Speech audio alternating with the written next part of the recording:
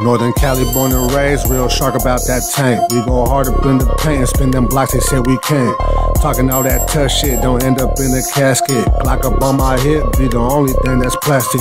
Hit him in the belly, guarantee that boy gon' fall. It don't matter who you body, you still a rat. What's cracking with the hand on YouTube, man? Thank you guys for tapping back in, showing love, showing support, all that good stuff. Don't forget to hit that like button, leave a comment down under, subscribe if you haven't already.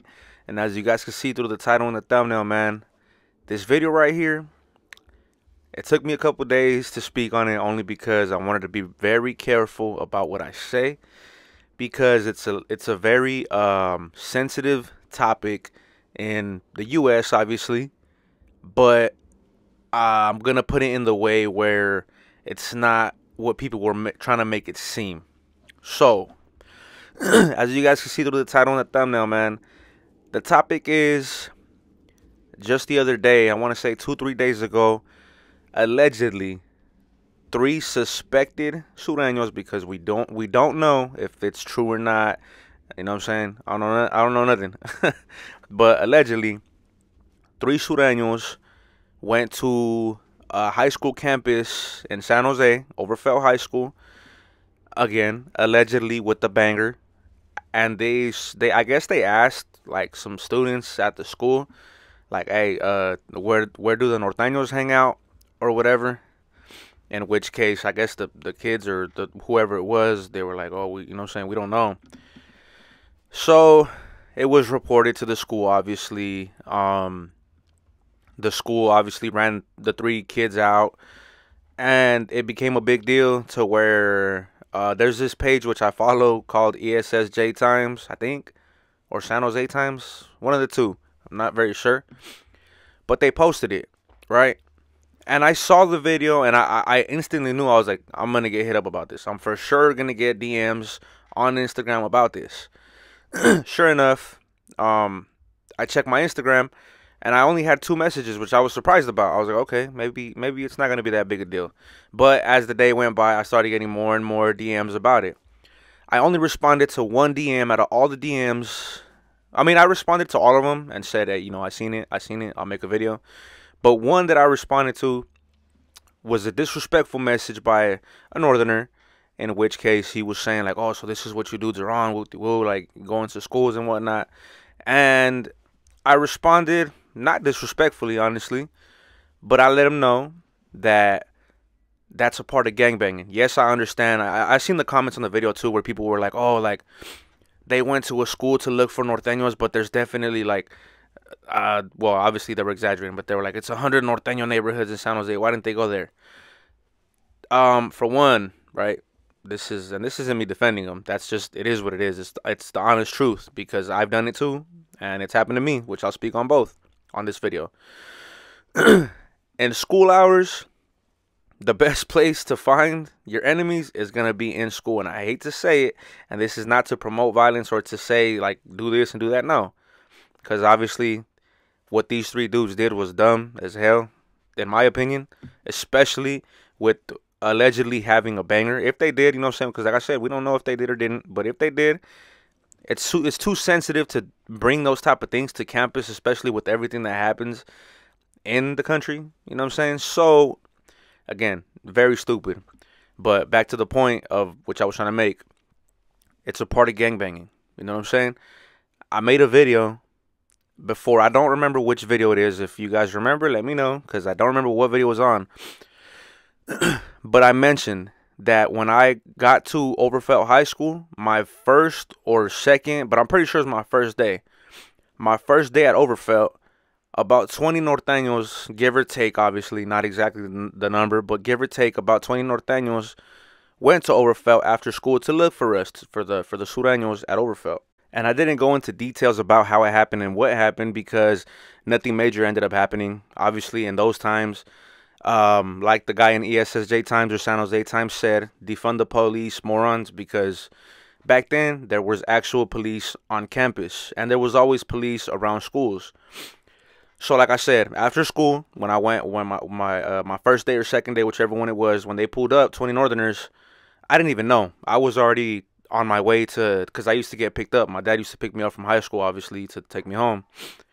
And uh, so I was already on my way walking towards, you know, when my dad would pick me up when this uh some girl she hit me up and she was like hey uh so and so is asking for you or you know basically like calling for you saying that there's some dudes looking for you guys. So i said all right so i you know i went to the j wing where the sureños kicked it at by the gym.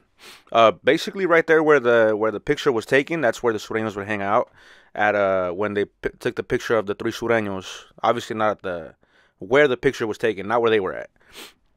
So um I went there, and of course, everybody was gathered up for the most part, everybody, and um, basically one of the homies told like everybody like, hey, whoever's with the business, we're out, and whoever's you know I'm saying not with the business, kick rocks because it's about to get you know it's, it's gonna go down. We knew it, and uh, surprisingly, only two out of like all of us was like no, you know what I'm saying like they everybody everybody was with it basically. And uh, the homie that said that he had he was allegedly holding something. Not it not it wasn't nothing that was in a pop. It was a stick and move type of thing if you catch my drift. and he obviously didn't want to get told on, so he that's why he said, you know what, whoever's with it, cool, let's go. If not, you know what I'm saying? Stay here. And um, so as we're, you know what I'm saying, on the way to where to the front of the school, because apparently they were at the front of the school and on the side of the school. So um, we walked to the front of the school, but there was already a bunch of um, like cop cars and obviously the they weren't they're not called principals at Overfelt. I don't know how it is now, but they were like I think they were called um what the hell were they called? I don't remember, but it wasn't principals. It was basically like the advisors or or um, counselors, whatever they were. They were already out there wait, waiting for us, and be, and again, nothing ended up happening. There was too many cops. N- literally, nothing happened. Only thing that happened was one of my homies that was there from SPV. He ended up getting violated. I think he had to do like three months in juvenile hall when literally nothing happened. Like nothing happened. Only reason he got violated is because he was kicking it with the homies, which was one of his things that he wasn't supposed to do. so, um, again, it happens. People go to campuses looking for their enemies because it's the easiest way to find your enemies. Again, um, that happened to to me. Now let me tell you guys about when I did it to, or when we did it to Norteños at Mount Pleasant High School. So this happened way later in the year. Same year, but it happened way later, maybe like two, three months after.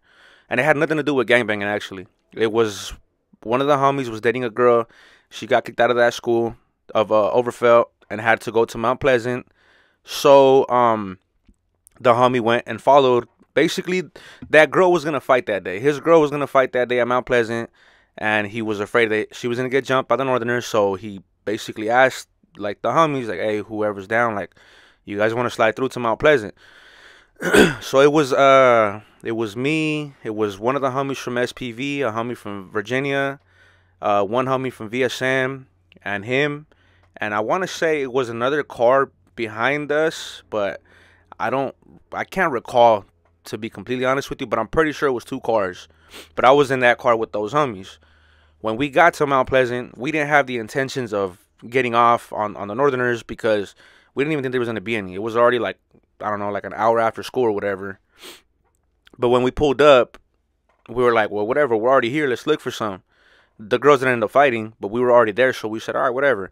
We end up finding one dude in a black and red, uh, well, not a black and red. It was the Niner jersey, but the black and red one, not the traditional red and white or red and gold, whatever it is we find one dude, but he takes off and we start chasing him or whatever. You know what I'm saying? Again, nothing happens. Dude had wheels. That fool was gone.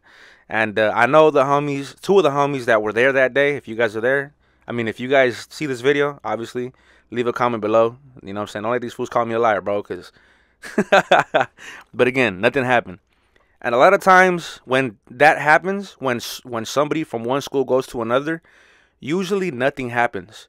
In this case, I'm very glad nothing happened because, for one, from going from one school to another, I feel like it's probably a bigger case than it would be if it was the same school, and if um there there actually was, you know, I'm saying what was alleged to be on the person of whoever was holding whatever, it would not go good for you because it's a very sensitive time for anything to do with that because of math. Uh, well, I was gonna say the word, but because of things that happen on school campuses with, you know, I'm saying bangers, I would not recommend it. So if for whatever reason those homies come across this video, um, I just want to say, bro, be smart. You know what I'm saying? Because I'll say it like this: that was a crash dummy move right there. I get it. Some some dudes when you're young, you're like, oh, I'm I'm all in. You know what I'm saying? I don't care about the consequences. I'm gonna do what I have to do for you know what I'm saying. I I get it, but do not be a crash dummy and do something that dumb either. You know what I'm saying? It, well, I I get it. It's gang banging, but also don't just you know what I'm saying. Use your head, man, because it was not a bright move. And for the people that wanted to know my uh, my thoughts on this on this, my point of view uh, I think it was a crash dummy move. I don't think it was smart. Um, if if you know what I'm saying, maybe the, the, students that saw them put a little 10 on the 2 and, and said they had that when they didn't and they just went to get off, hey, you know what? That happens and it is what it is. But again, that's really all I have to say on the topic. It's part of gang banging, sadly, but it is what it is, man. And uh, so yeah, that's all I really got to say on the topic. Thank you guys for tapping in. Um, I will be dropping more content this month especially because I'm not gonna lie to you guys. You guys are gonna notice that YouTubers are gonna be posting a lot this month because YouTube pushes channels more in December for whatever reason. I don't know. Um, apparently, the your views should be higher if you are more consistent. Um, they do pay you a little bit more, um, and I guess you get your channel just get it gets recommended more, which means more views, which means more money, which means everybody's happy. The content is being pushed and the viewers have content to watch. So with that being said, man, thank you guys for tapping in. Show some love, show some support. Like always, I appreciate all of you. Um, don't forget to hit that like button, leave a comment down under, subscribe if you haven't already. And like I always say, the goal is to make it out the hood, not stay in it. And I'll see you guys in the next one.